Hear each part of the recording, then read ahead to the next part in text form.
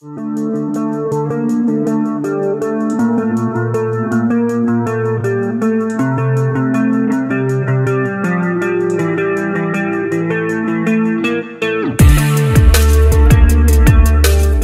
Negara Turki turut bertindak saat Amerika Serikat Inggris menyerang Yaman pada Kamis 11 Januari malam. Bahkan Presiden Turki Recep Tayyip Erdogan mengecam serangan Inggris dan Amerika Serikat.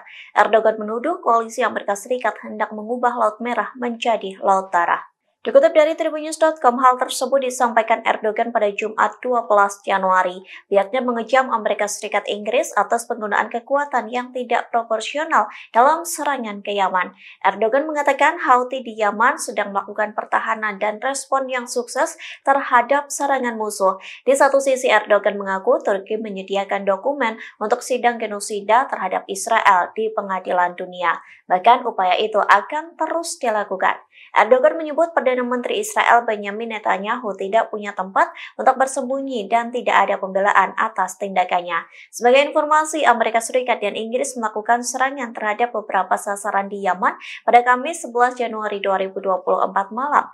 Hal ini sebagai tanggapan atas serangan pesawat tak berawak dan rudal yang sedang berlangsung oleh Houthi terhadap jalur pelayaran internasional yang berada di Laut Merah. Download Tribun X sekarang menghadirkan lokal menjadi Indonesia.